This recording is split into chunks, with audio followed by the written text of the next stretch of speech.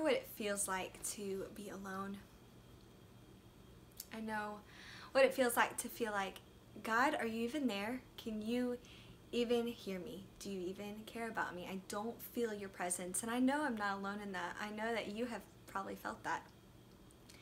And so I have to remind myself that God is with me, that He came in the form of a human as Jesus. And then Jesus says in the book of John, like, I've got to go because the Holy Spirit has to come.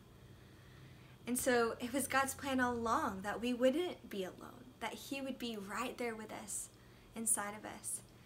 And Melissa Helser, who wrote No Longer Slaves, says this beautiful phrase. She says, The Holy Spirit has swallowed up our loneliness. And when I remember and when I think about it, when I feel lonely or alone, I just have to remind myself that the Spirit is present. The Spirit is with me, within me. The Spirit is real and inviting me into relationship, inviting me into a friendship. That's a gift.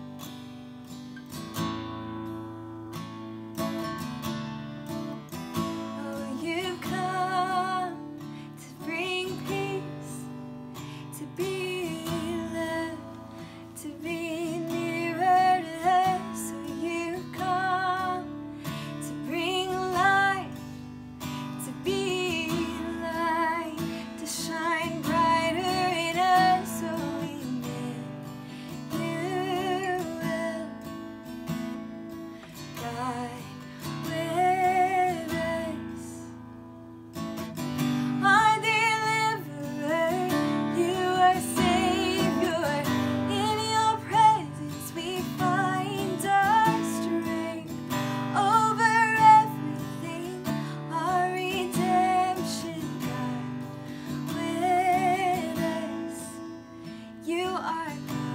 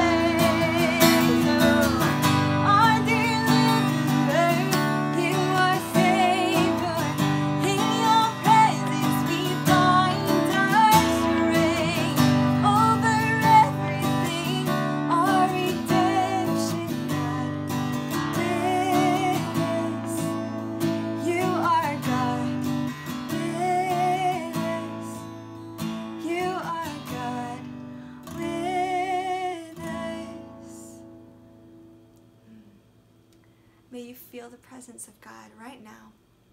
That He's all around you. That He's for you and that He loves you. Amen.